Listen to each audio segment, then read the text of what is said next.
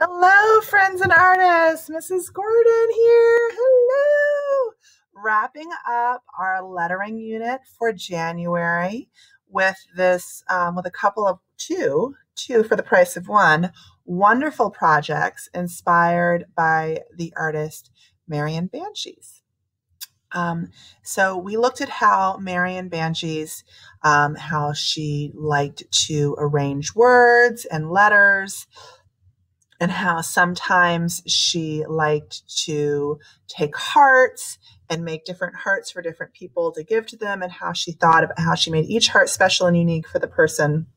Um, but for this video, um, we're just going to talk about two other ideas for making art, and you have two choices here.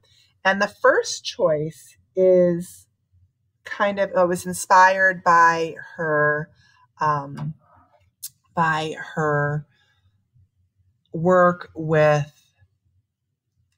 flower petals and how she used the flower petals and arranged the flower petals in unique ways um, to make letters. And then she could make use to put the letters together to make um, to make a word to make her art. And so that's the first challenge I want to give you today. Um, you know, there are a couple of different ways to do this. Um, so you can find something that you have a lot of, or something that you can find a lot of outside. Like maybe you went outside and you found a whole bunch of leaves and you wanted to arrange the leaves to spell the word leaf or to spell something else. Um, or uh, like I have a lot of crayons in your room. So I arranged my crayons to make the word art and then what you can do is you can, to make it into your art, um, you could glue it on there, I guess, if you were using something like from outside, like leaves, if you want, you could glue it onto the paper. But I don't want to glue the crayons onto the paper. Um, and I might want to make my letters a little bit longer here. I don't know, maybe. Yeah, I think that's better. That letter T a little bit longer. Um, so then you could grab your phone or a camera and you can take a picture. You see me taking a picture? I'm taking a picture of the word. And then I have that picture on my phone. And you can edit it. You could make it black and white if you wanted to. That's kind of cool. Now my I have a little bit of a shadow in there. I can get rid of that um, by editing on my phone. I can make the exposure brighter. Ooh, that's kind of fun. I can change the brilliance. I can get rid of that shadow by adding by changing the highlights. You can also do that with shadows too. You can make the shadows darker.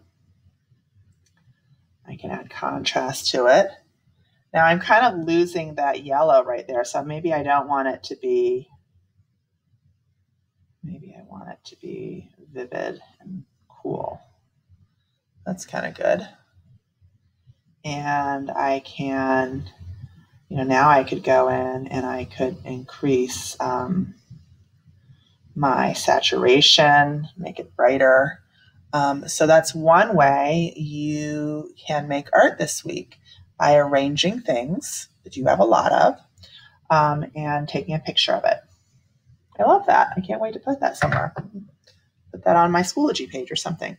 Um, the other thing that you can do is you can find, uh, and I did this last year as a challenge for people um, on Twitter. You can find letters or objects in your house that look like things. So a pair of scissors, if you open them up, might look like a letter X. And you could, um, or let's see, I'm sorry, trying to think of something else. Or this top might look like a letter O. Um, and so you could arrange that on a piece of paper. Now, I probably wouldn't want to use, I might use a different color paper for this. Um, but you know how people have, you know, XO, it's like a, a hug and a kiss. Um, you could do something like that. Um, the last thing I want to talk with you about, uh, this is your second option, is to turn your letters into different drawings. And this is really getting into the art of lettering. So here's my example. This is my first name. My first name is Nicole. Remember, I've said you can know that. You just can't call me Nicole. You have to call me Mrs. Gordon. Um, but I took each of the letters in my name and I tried to make it into something that I'm interested in. So I love art. So I have a pencil and a couple crayons and a Sharpie. I love to paint. So I have a paintbrush and a palette. I like to um, cook eggs for my family on the weekend. My daughters don't like eggs anymore, but my husband still appreciates um, when I cook eggs on the weekend. I usually make them an omelet. Um, I turn my L into a um, my leg, and we have a dog named Maya, and so I put a leash and I put a little dog bone in there. So let's talk about how I would do something like this. So many good options this week. Um, let's say I take the word, uh, let's see, love. A little flashback to Robert, Indiana, which you learned about earlier this month. So I'm just going to lightly write, I'll lightly write the letters. And you could have them lined up like this. You can have them staggered, like maybe I want them to be in a different place. And then I can turn each of these into something that I love. All right. So, thinking on my feet here, friends. Let's see how it goes. Um, one thing I was thinking of is that the letter L can sometimes look like a like a sock. So I'm going to turn this into the shape of a sock. And I love getting cozy with some warm socks on a cold winter's day. Love me a good pair of cozy socks. I also love it when they have little patterns on them. So I might make little patterns on my socks. Maybe some little shapes. Kind of looks like a stocking not a stocking. So I love cozy socks. So there's my letter L. Um, for my O, maybe I want to turn it into thinking about being cozy. I love um, a good cup of tea. So maybe this is like the top of the cup and I can see the bottom of the cup here. And maybe I can't see the bottom of the cup. Maybe I can see the liquid in the cup.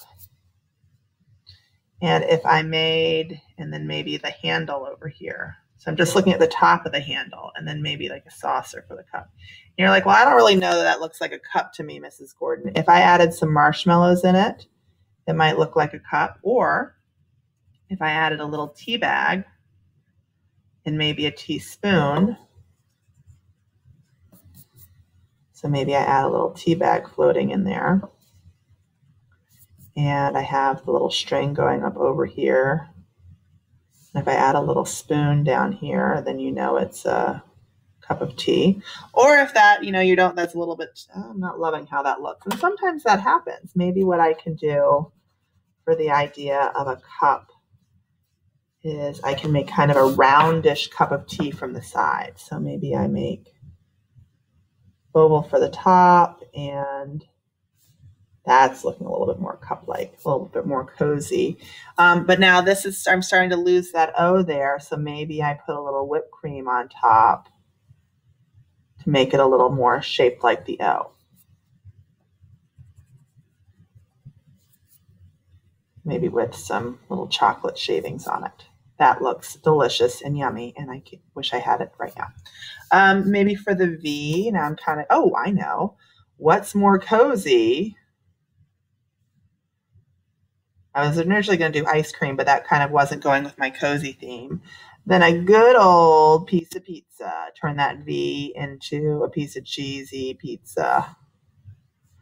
My favorite kind of pizza. I don't like, like the cheese dripping off of it. Feels messy to me. Um, but my husband and I get this uh, cauliflower pizza from Costco, and I just love it. Because I don't eat bread anymore. It's kind of a bummer for pizza because I miss pizza. But then I get to enjoy the cauliflower pizza and I get to feel like it eating pizza still. Uh, the E could be tricky. Remember for the E on this one, I did like a leash and a dog bone because it's hard to find things that are shaped like E's. I mean, a V is kind of easy because there's so many things like ice cream cones are shaped like a V. Um, but maybe, you know, maybe it's a great scarf. Right, kind of go with my cozy theme. And then I turn it into kind of the shape of a scarf. Now you're like, Mrs. Gordon, that doesn't look like a scarf. I got you, friends. I'm going to make it look like a scarf. It looks like a folded piece of fabric right now. But do this. You add little dots on the ends and add little tassels.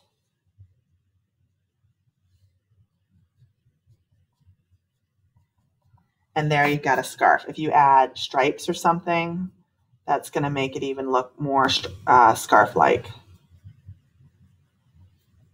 So I love being cozy on a cold winter's day uh, with my good socks and my cup of cocoa and my piece of pizza cauliflower crust and my scarf cozied up with. Um, or things that I love as my name, uh, art stuff and cooking and walking outside, walking the dog. Um, whether or not you do uh, the first option where you're arranging objects, found objects in your home to make different letters and to spell different words, or whether you're taking your letters and turning your letters into something else to give us a message about you. I cannot wait to see what you do with this Marian Bantjes inspired project for lettering, our last project for lettering. Happy art making, friends.